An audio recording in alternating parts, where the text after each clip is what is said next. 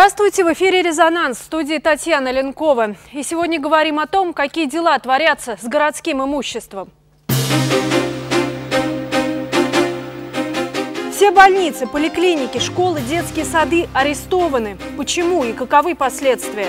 Все объекты города Оренбурга, муниципальные, включая объекты здравоохранения, в данный момент находятся под арестом. Вопрос давнишний, и он нехороший, его надо закрывать, потому что как бы он не закончится никогда, вы все это знаете. Город Оренбург лишился еще 15 объектов недвижимости, которые тоже были городской собственностью. И зачем у города забирать управление здравоохранения? Я знаю личные отношения между министром здравоохранения и э, управляющим здравоохранения, знаю о их отношениях. Не это ли послужило вот этим скоропалительным решением? Позиция такая нездравая лично министра меня это, честно говоря, очень здорово настораживает. Причем вот порой ее такие резкие какие-то заявления, я не знаю, откуда вдруг э, как бы вот успела так переобуться, да. 76 соток муниципальной земли продано за бесценок. Или почему оренбуржцев лишили сквера в центре города? Безусловно, что здесь должны разобраться органы, и в первую очередь прокуратура, а в правомерности всех действий, которые там происходили.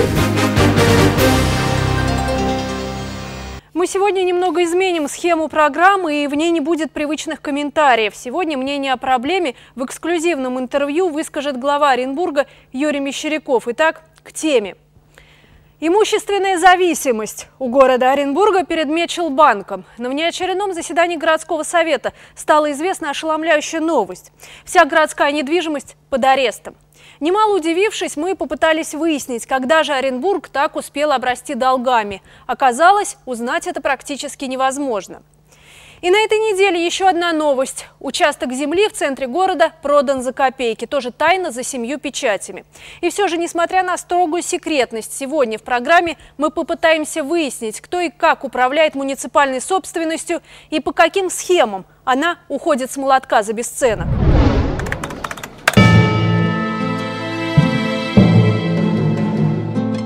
Все больницы, поликлиники, школы, детские сады арестованы. Четыре с половиной тысячи зданий, ими можно пользоваться, но нельзя совершать никаких регистрационных сделок. И несмотря на то, что арест наложен еще в августе до 30 октября, о нем мало кто знал. А те, кто знали, особо не распространялись. Только мне известно, все объекты города Оренбурга, муниципальные, включая объекты здравоохранения, в данный момент находятся под арестом. Вопрос давнишний, и он нехороший, его надо закрывать, потому что как бы он не закончится никогда, вы все это знаете.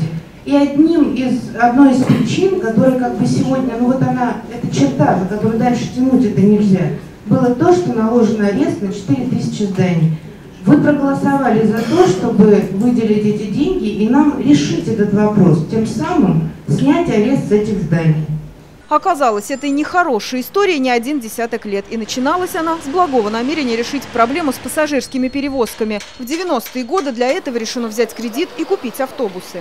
То есть планировали приобрести новые автобусы, а приобрели ну, очень-очень-очень бэушные, вот, которые, насколько я помню, ну, я не знаю, если они год-полтора ездили, то это уже хорошо. А деньги, так как город брал, заключал договора, он остался должен.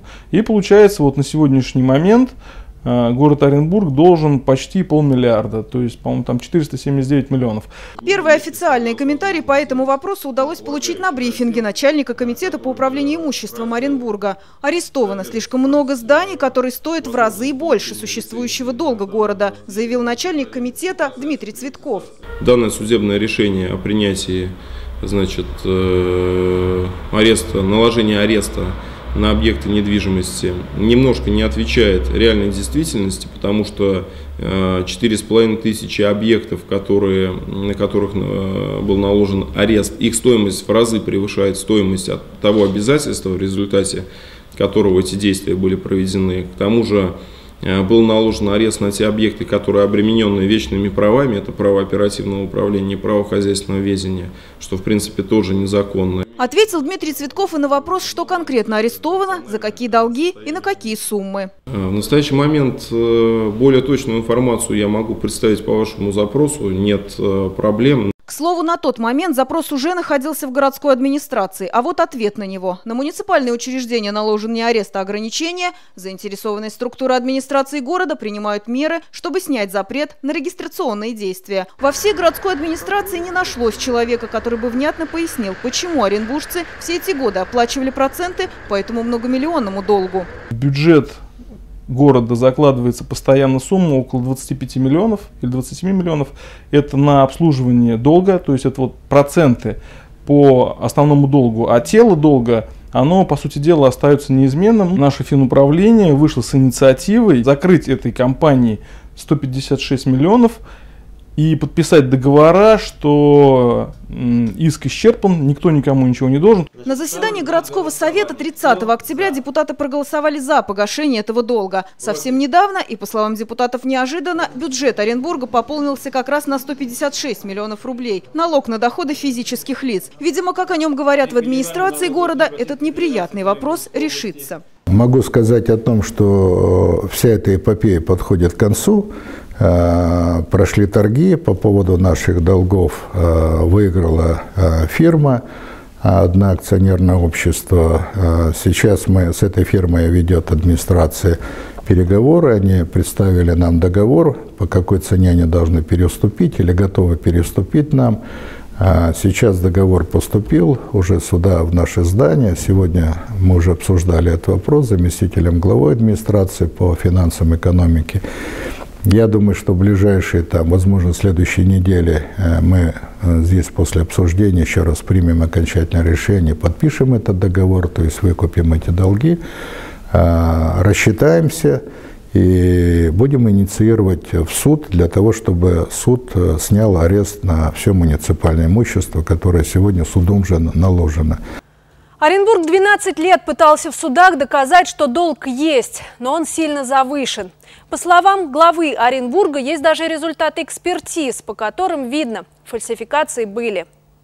Поэтому не случайно они всплыли сегодня, но представьте, 12 лет мы казну и бюджет берегли и не давали возможность, там, так сказать, вот махинаторам запустить руки туда. Мы принимали решение городского совета об отказе, и я вынужден был э, выступать в Верховном арбитражном суде в Москве, куда специально ездил и выступал там, и убеждал судей, что э, я видел, что там не все чистоплотно сделано в этой сделке. Это связано с покупкой автобусов, которые ходят по городу. Их мы уже по почти половина списали, а все еще до сих пор судимся, кто должен за них платить. Поэтому, э, наверное, платить надо, но мы говорили о том, мы хотим знать объективно, сколько надо платить за них и насколько это была чистая сделка. А, знаю, что прокуратура заводила уголовное дело, Следственный комитет очень долго занимался. Знаю, что есть подтверждение ростовской лаборатории, как это по установлению, так сказать, подчерка, насколько это достоверно, что там подтвердили о том, что а, и печать э, была, так сказать, фальсифицированная. Но, тем не менее, так сказать, э, уголовного, так сказать, преследования не состоялось. Э, мы десятки-десятки судов прошли, начиная от местных судов, э, Челябинских, апелляций, Федерального суда Екатеринбурга. И у нас целый э, отдел, который занимался, юридический отдел при финуправлении, который практически больше ничем не занимался, занимался только вот этими делами. То есть были счастливые минуты, когда мы вот-вот, казалось бы, выйдем из этой ситуации, вообще ничего платить никому не будем, то, что было непонятно. Но, наверное, не хватило у нас сил, может быть, финансов не хватило отстоять э, это решение, и вот, э, так сказать, э, долги придется возвращать.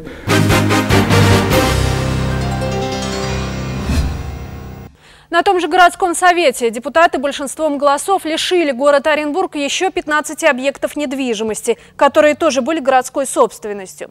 Все учреждения здравоохранения будут переданы в Министерство здравоохранения области. К слову, на них тоже наложен арест. Ну или по-другому ограничение. Более того, в Оренбурге ликвидируется целая структура управления здравоохранения города.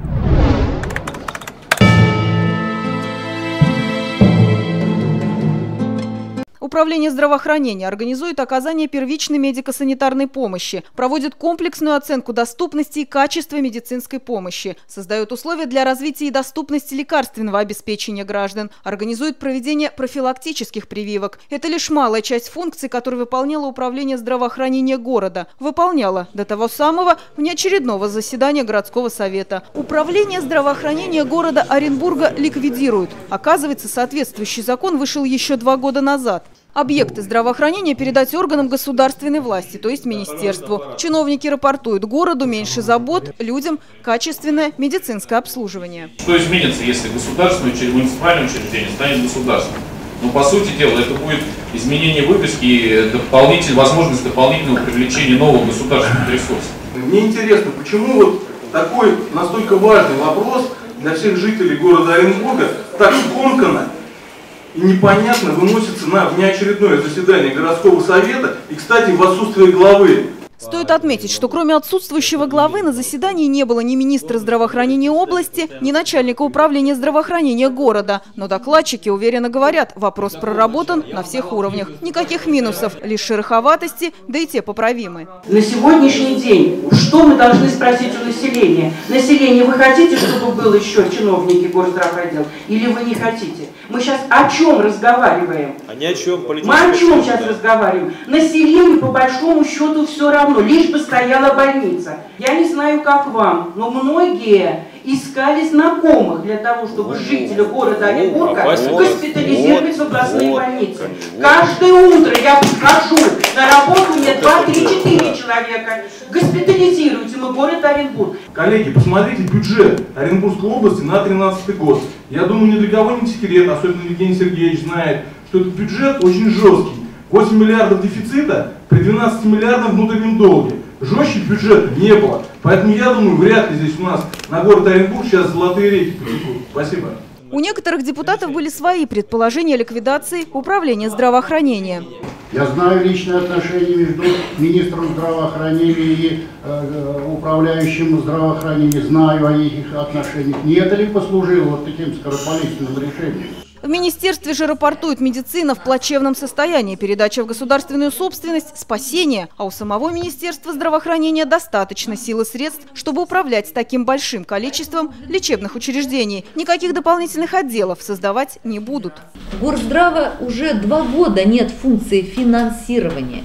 Все это время Горздрав финансировал три субъекта, три своих учреждения. Это скорая помощь, которая уже весь 2012 год ушла в фонд обязательного медицинского страхования. Это молочная кухня, которая еще существует. И третье, это был отделение санитарного просвещения, дом здоровья, который тоже упразднили, передав его в структуру областного муниципального детского объединения на Кобозево.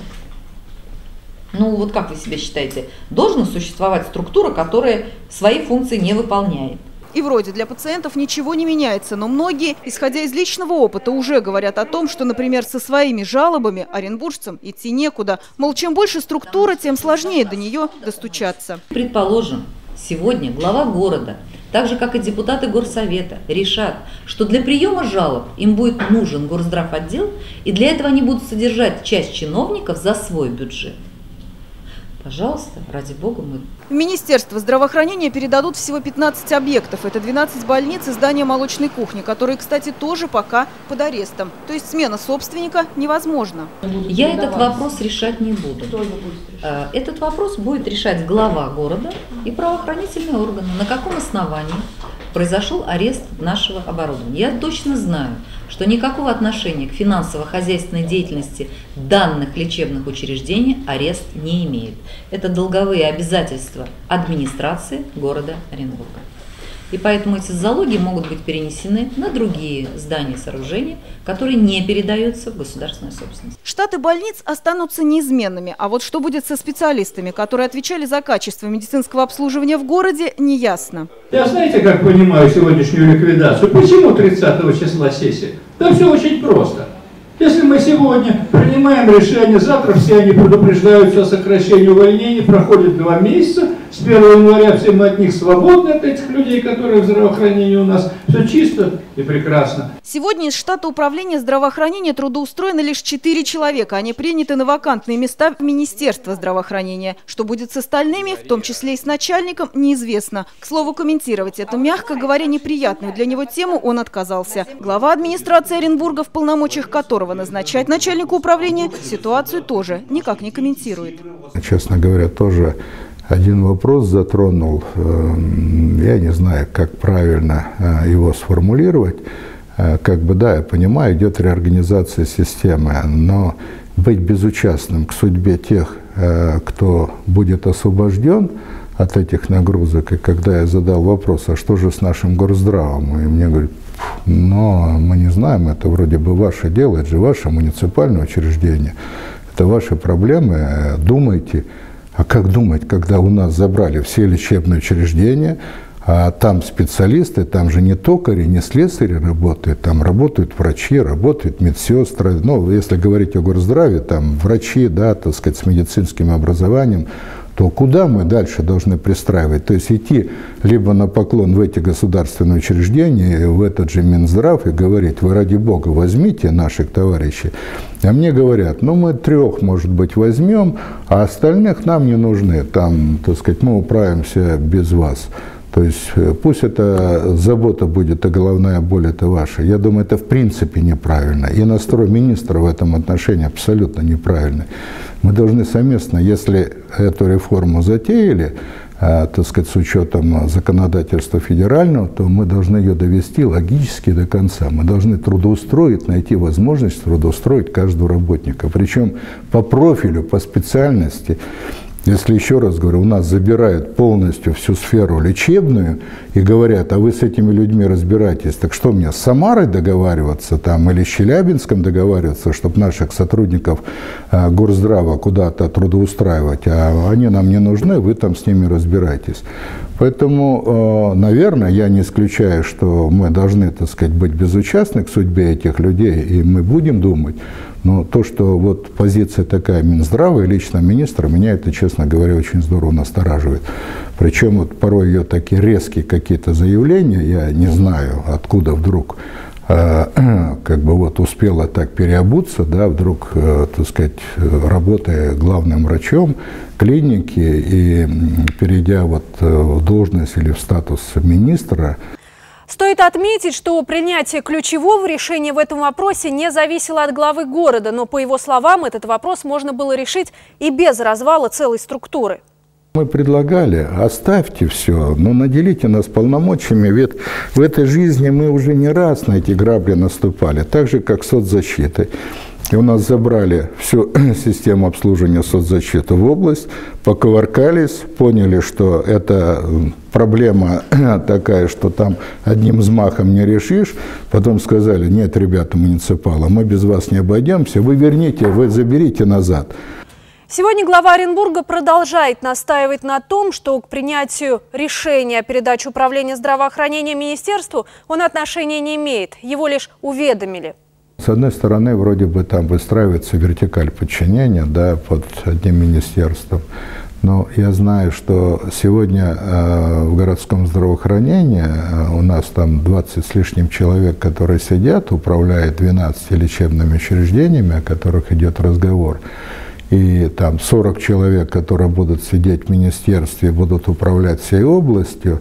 Я не думаю далеко, что там все вундеркинды э, пришли, так сказать, ни в коем случае не, не хочу никого обидеть, ни министра э, здравоохранения, тем более это бывшая наша сотрудница, э, которая возглавляла одно из муниципальных учреждений здравоохранения. Мы тоже знаем ее, поэтому, ну, дай бог, как говорят, да, но еще раз говорю, что у меня даже не как у главы города, а просто как у человека, который э, столько лет проработал в системе местных органов, и я думаю, что я имею право на сомнения, э, но очень-очень хотел бы, чтобы эти сомнения не подтвердились, чтобы все было благополучно.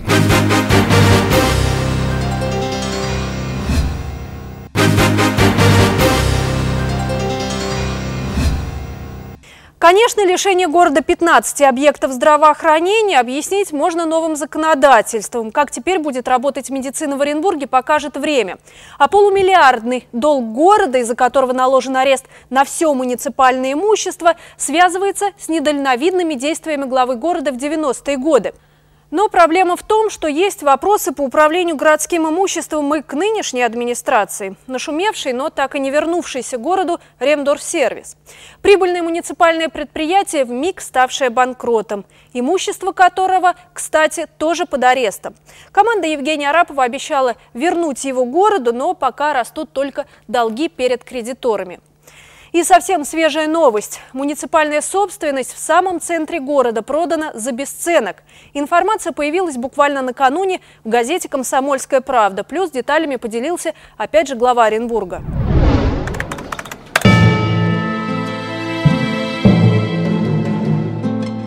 Семьдесят шесть соток муниципальной земли продано за бесценок. Многие возмущены. Большой участок в престижном центре Оренбурга всего за 3,5 миллиона рублей. Правда, сегодня глава города поделился интересной информацией.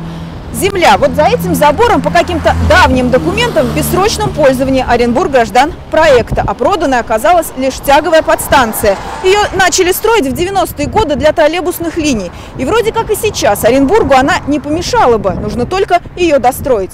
Но за этим забором подстанции уже нет.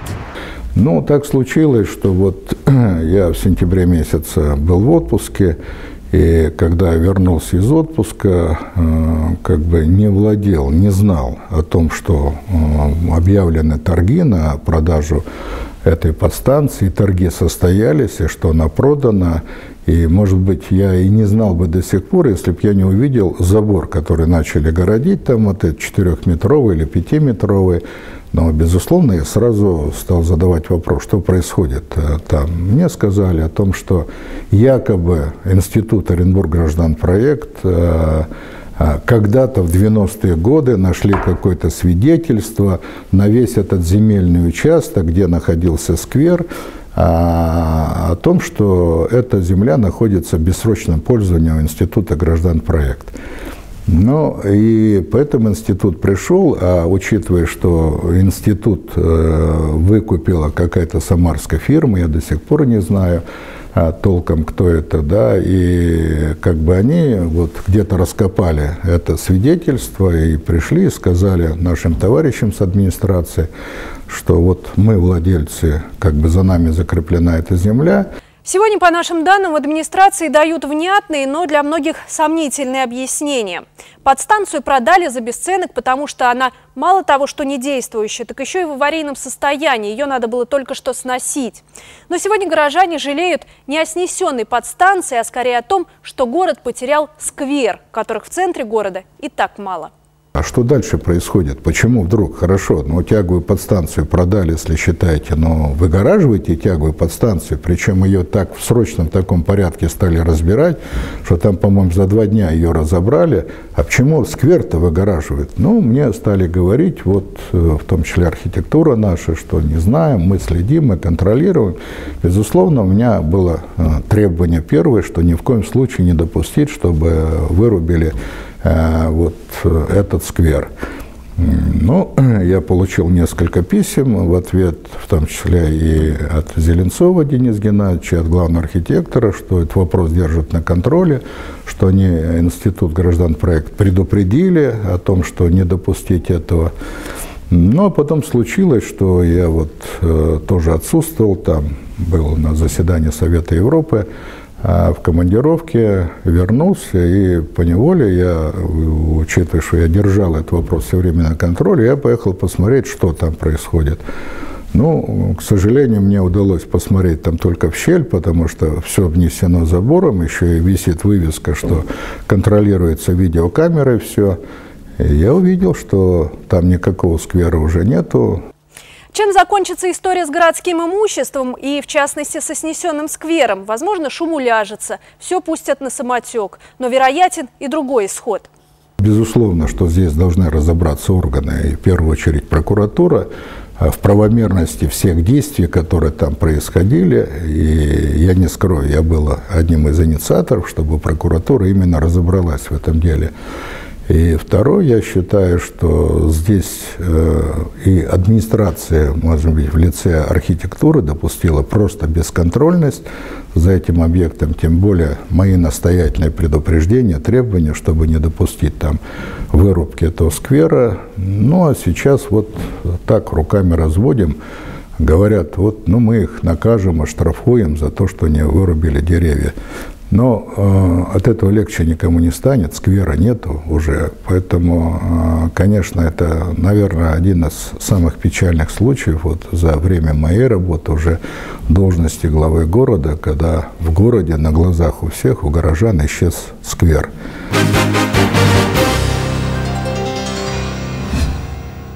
Вот такие проделки с городским имуществом. Ну, если кому-то не нравится, то дела. Возможно, эта тема кому-то из зрителей показалась неинтересной и далекой. Вот только стоит напомнить, речь шла не просто о зданиях, бюджете и чиновниках, а о деньгах, которые каждый из нас регулярно перечисляет, в том числе и бюджет Оренбурга. На этом все. Это был «Резонанс». До встречи в эфире.